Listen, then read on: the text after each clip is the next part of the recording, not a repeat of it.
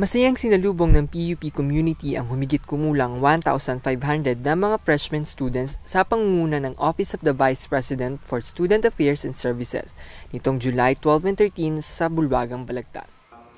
Pinati ni PUP President Emmanuel C. D. Guzman ang mga bagong estudyante ng PUP at pinaalalahanan na pahalagahan ang oportunidad ng mga freshmen na nakapasok sa sintang paaralan. Uh, take care of this status that you have achieved since uh, uh, thousands of other students, uh, young people out there dream of becoming uh, students of PUP.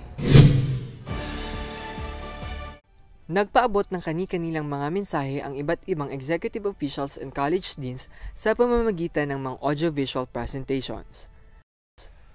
Nagbigay din naman ng pagkakataon ang mga organizers upang makapagtanong ang mga estudyante tungkol sa mga serbisyong ibinibigay ng PUP. Tinapos ang orientation sa pagbibigay ng mensahe ni Vice President for Student Affairs and Services, Dr. Herminia E. Manimtim.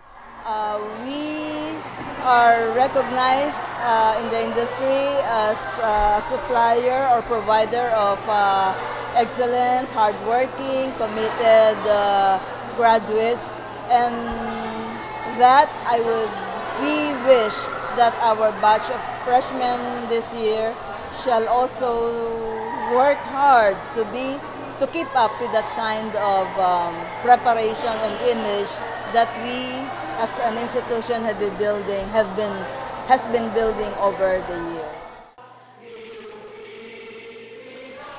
Roderick Gott, Observer.